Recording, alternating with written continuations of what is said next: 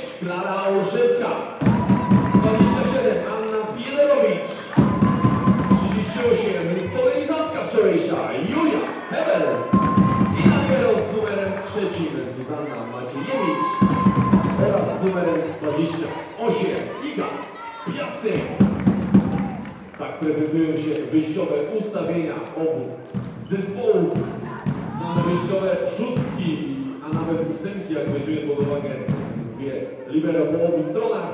Znamy trenerów, znamy sędziów. Nie zostaje już nic innego, jak poczekać na pierwszy gwizdek sędziego i rozpocząć rywalizację o złoty medal.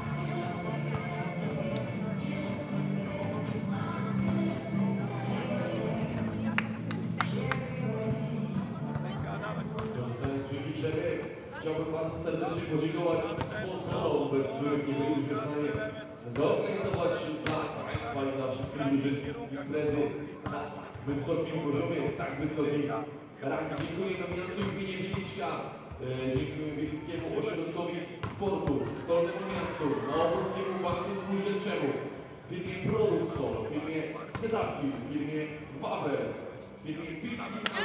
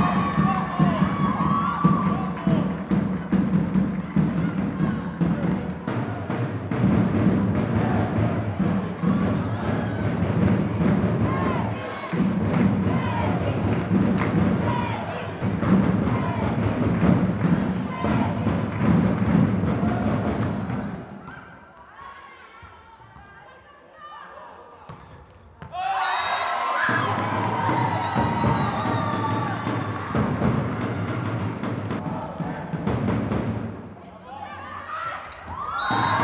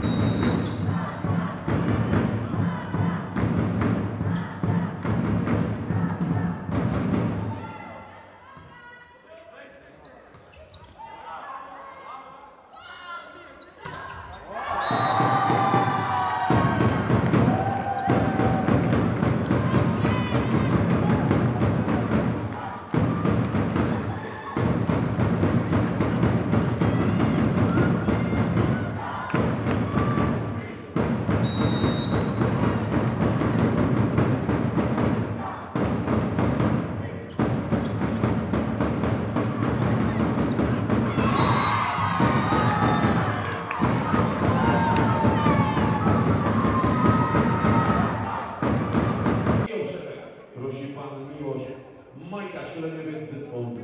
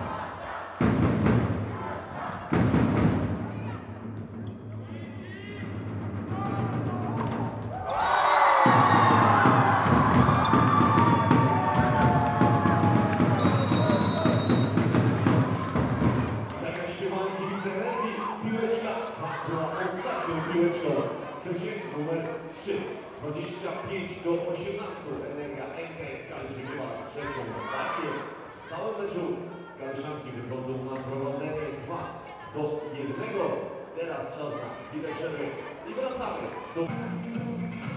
Thank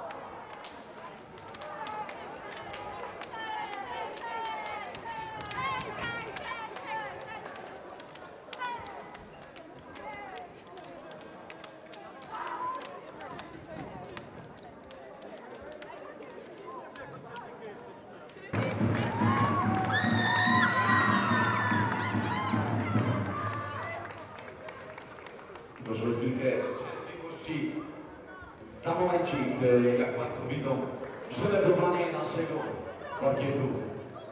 I za kilka chwil będziemy mogli rozpocząć ceremonię, która oficjalnie zakończy kilkudniową rywalizację w ramach Mistrzostw Polski Juniorem Mniejszych.